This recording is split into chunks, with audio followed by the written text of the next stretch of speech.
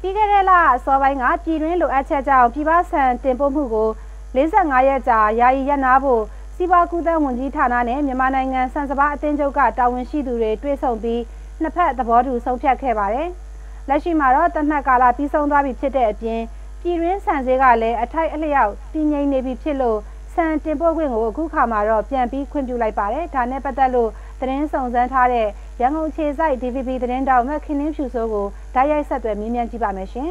။အာဟုတ်ကဲ့ခင်နှင်းဖြူစိုးရေပြည်ပဆန်တင်ပို့ခွင့်ကိုစီးပွားကူးသန်းဝန်ကြီးဌာနကပြန်ပြီးခွင့်ပြုလိုက်ပြီလို့ကြားရပါတယ်။ဒါနဲ့ပတ်သက်ပြီးဘလို့အစီအမံတွေနဲ့ခွင့်ပြုလိုက်လဲဆိုတာကိုအရင်ဆုံးပြပြပေးပါနော်။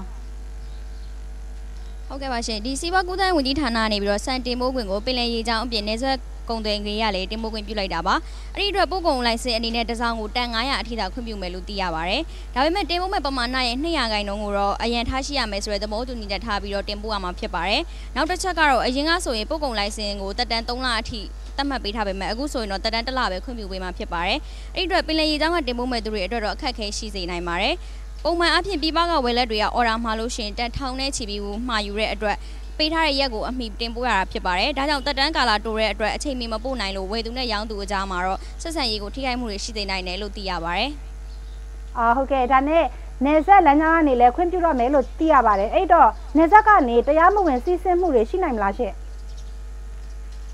ဟုတ်ကဲ့ရှင်အဲ့ဒီကိစ္စနဲ့ပတ်သက်ပြီးတော့ဒီဆန်စပါအတင်းချုပ်ကတောင်းဝင်ရှိသူတို့ကိုမေးမြန်းတဲ့အခါမှာတော့သူကဒီကိစ္စနဲ့ပတ်သက်ပြီးဖြေဖို့ကတော့ခက်ခဲတယ်လို့ဆိုပါရယ်။ဘာလို့လဲဆိုတော့ဒီမြန်မာနိုင်ငံကနေဆက်လမ်းကြောင်းတွေကမိုင်းထောင်နဲ့ချီပြီးရှိတဲ့အတွက်တရားမဝင်လမ်းကြောင်းတွေကတော့ထိမှုကခက်ခဲတယ်လို့သူကပြောပါရယ်။ဒါပေမဲ့လက်ရှိမှာတော့ပြည်တွင်းမှာဒီစီးပွားကူးသန်းဌာနတရားဝင်ဖွဲ့စည်းထားတဲ့ mobile တင်အဖွဲ့ကနေပြီးတော့နေဆက်လမ်းကြောင်းတွေမှာတရားဝင်ကုန်စည်စစ်မှုတွေကိုတားမြစ်ထားတဲ့အတွက်အရင်ထက်တော့အထိုက်လျောက်ရော့ပါသွားမယ်လို့သူကဆိုပါရယ်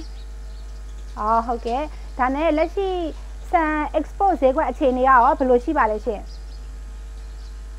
ဟုတ်ကဲ့ရှင်ဒီလက်ရှိဗန္ဒာနှစ်အတွက်ပြည်ပကိုစံတန်ချိန်၄သိန်းခွဲနီးပါးတင်ပို့ထားပြီးဖြစ်ပေမဲ့တင်ပို့ပမာဏရဲ့80ရာခိုင်နှုန်းကိုတော့မူဆယ်ကနေတဆင့်တရုတ်ဈေးကွက်ကိုအများဆုံးတင်ပို့တာဖြစ်ပါတယ်။ကျန်တဲ့30ရာခိုင်နှုန်းကိုတော့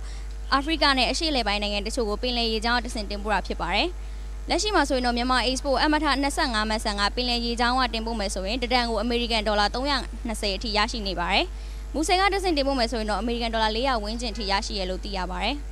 ။အော်ဟုတ်ကဲ့ကျေးဇူးပါပဲညီမလေးရေ။ဒါကတော့ပြည်ပဆန်တင်ပို့မှုကိုပြန်ပြီးခွင့်ပြုလိုက်တဲ့ကိစ္စနဲ့ပတ်သက်ပြီးတော့ခင်းနှင်းပြစိုးကိုဓာတ်ရိုက်မြင်မြန်ခဲ့တာပါရှင်။ဆက်လက်ပြီးသတင်းတွေကိုတင်ဆက်ပေးပါမယ်ရှင်။